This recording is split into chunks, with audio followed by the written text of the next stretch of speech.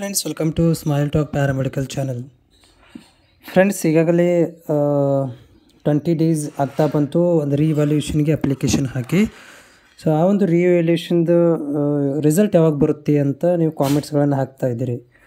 So ಅದಕ್ಕೆ ಸಂಬಂಧಿಸಿದಂತೆ update ಏನಂತಂದರೆ, ಈಗಾಗಲೇ ರಿವ್ಯಾಲ್ಯೂಷನ್ಸ್ ಸ್ಟಾರ್ಟ್ ಆಗಿದೆ. ಪ್ರೊಸೆಸಿಂಗಲ್ಲಿದೆ ಆಲ್ಮೋಸ್ಟ್ ಇನ್ನೊಂದು ಎರಡು ಮೂರು ದಿನಗಳಲ್ಲಿ ರಿವ್ಯಾಲ್ಯೂಯೇಷನ್ ಪ್ರೊಸೆಸ್ ಕಂಪ್ಲೀಟ್ ಆಗುತ್ತೆ.